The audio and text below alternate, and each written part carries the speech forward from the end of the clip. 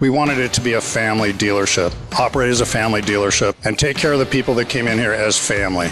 To be in Newport Beach, California, with a Ducati flagship dealership, with this team around me is unbelievable.